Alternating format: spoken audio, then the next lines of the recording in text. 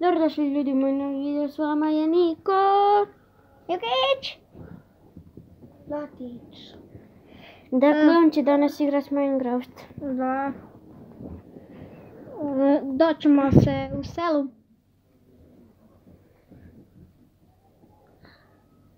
Ovo je malo teško, ne vidim se pol ekrana. Počeli smo. a mene niste pol... Eno ga piramida, već smo našli piramidu i selo. What the fuck? Mem, what the fuck? A mene niste predstavili. I ovaj neki glupan pored nas. Drži kameru, glupan je jedan. Ja hoću. Ovako drži, jesi Ja sam jadnik. Ja sam seljak. Ajde seljačino, drži ovako.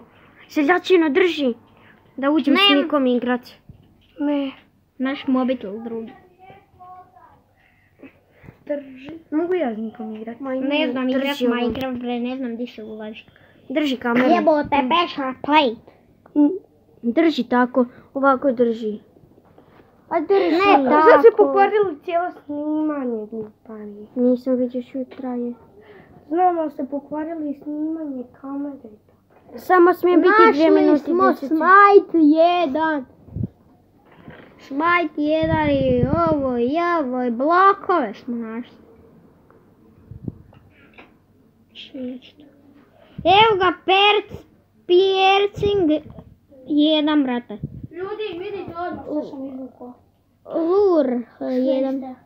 E, drži, drži. Stavimo. Maćeš, drži ovako.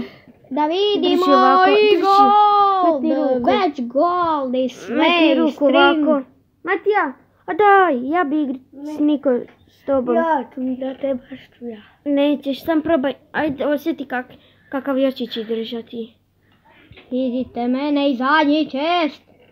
Niko. Niko, samo smiješ snimati dvije minute i deset sekundi. Sad je dvije minute i prekinit će se za